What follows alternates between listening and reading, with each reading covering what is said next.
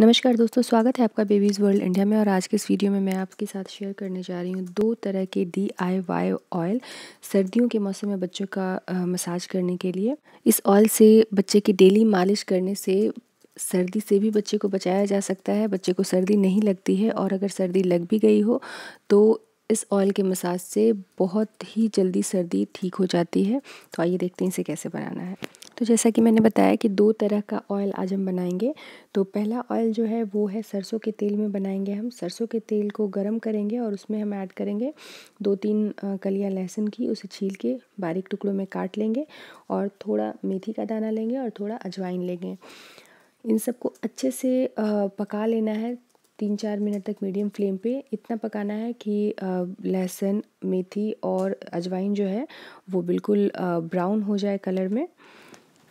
देखिए, अगर आप डेली मसाज के लिए इस ऑयल को बना रहे हैं तो अगर आप चाहें तो लहसुन को स्किप भी कर सकते हैं, लेकिन अगर बच्चे को सर्दी लग गई है तो इस ऑयल में लहसुन ज़रूर डालिएगा। लहसुन डालने से सर्दी बिल्कुल बहुत ही जल्दी ठीक हो जाती है। इस ऑयल से बच्चे के चेस्ट पे बैक पे और तलवे में और पैरों की जो नाखून होते हैं उसमें इस ऑयल को लगा के अच्छे से मसाज करें। बहुत ही जल्दी सर्दी ठीक हो जाती है और अगर बच्चे का आप डेली मसाज के लिए इसको इस ऑयल को बना रहे हैं तो उस लहसुन को बिल्कुल स्किप कर सकते हैं। बाकी अजवाइन और मेथी डाल के इस ऑयल को बना लें। और जो दूसरा ऑयल हम बनाएँगे, उसके लिए लेंगे बादाम का तेल। बहुत सारे लोग अपने बच्चों को सरसों का तेल नहीं लगाते हैं या नहीं लगाना चाहते हैं तो उस कंडीशन में आप बादाम का तेल लें। बादाम के तेल की भी तासीर गर्म होती है। तो ये बहुत ही इफ़ेक्टिव होता है सर्दी को दूर भगाने के लिए और ये स्किन को भी बहुत अच्छे से नरिश करता है।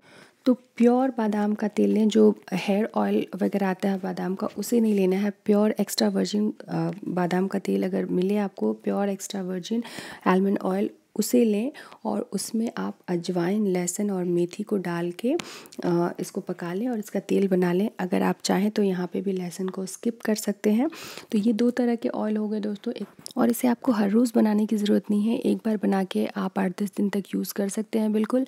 किसी बॉटल में भर के रख लें या फिर कोई माइक्रोवेव सेफ़ कप है तो उसमें आप रख सकते हैं। उससे होगा क्या कि जब भी आपको मसाज करना होगा, बस आठ दस सेकेंड के लिए इसको माइक्रोवेव में रीहीट कर लें और बच्चे की मालिश कर दें। पूरी सर्दी के मौसम में मैं बच्चों की मालिश इसी तेल से करती हूँ। अगर कभी ये तेल नहीं बना हुआ रहा तो अलग बात है।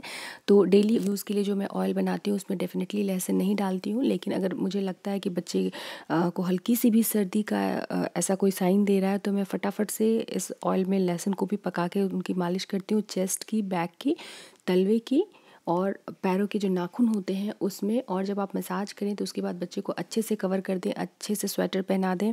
और सॉक्स पहनाना बिल्कुल ना भूलें। तो ये देखिए दोस्तों, जैसे ही तेल थोड़ा गर्म हुआ, सबसे पहले उसमें मैंने मेथी डाला, उसकी कुछ तीस चालीस सेकेंड के बाद अजवाइन और उसके आधे मिनट के बाद, यानी कि थर्टी फोर्टी सेकेंड के बाद मैंने ये लहसुन डाला। अब लहसुन को बिल्कुल ब्राउन होने तक पका लेना है और इसको फिर ठंडा होने दीजिए। और फिर किसी छन्ने से छान के इसको एक बॉटल में रख लें। छन्ने से छानने के लिए इसलिए बोल रही हूँ ताकि इसमें कोई भी पार्टिकल ना रहे। तो लहसुन को बिल्कुल ब्राउन होने तक पकाएँगे। उसके बाद इसे रूम टेम्परेचर पर आने दें। उसके बाद छान के रखें। और जब भी आपको बच्चे का मसाज करना हो, इसको हल्का सा गुनगुना कर लें, या तो माइक्रोवेव में या फिर कुकटॉप पर और उसके बाद फिर बच्चे की गुनगुने तेल से मसाज करें। तो दोस्तों, आज के इस वीडियो में इतना ही वीडियो अच्छा लगा होगा तो प्लीज़ इसे लाइक और शेयर ज़रूर करिएगा और सब्सक्राइब करिएगा हमारे चैनल को ताकि आप हमारे आने वाले सभी वीडियोज़ के नोटिफिकेशन पाते रहें। मैं मिलती हूँ आपसे अगली वीडियो में, तब तक के लिए नमस्कार।